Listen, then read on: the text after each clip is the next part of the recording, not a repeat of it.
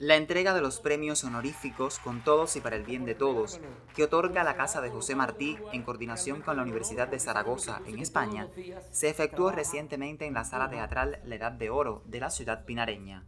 Varias personalidades políticas y de la cultura en el territorio, como el comandante Julio Camacho Aguilera y su esposa Georgina Leiva, la primera secretaria del partido Yamilés Ramos Cordero, la presidenta de honor de la Sociedad Cultural José Martí, Neri Carrillo, la profesora Bárbara Licur y el realizador Luis Hidalgo Ramos recibieron estas distinciones.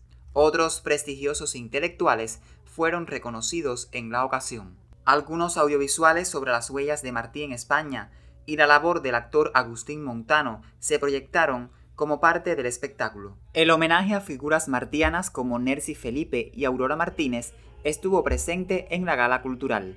Artistas y agrupaciones como el coro polifónico, la orquesta de guitarras, la compañía de teatro lírico Ernesto Lecuona y Danzare deleitaron al público presente. José Carlos López Arteaga, Notas Culturales en Telenoticias.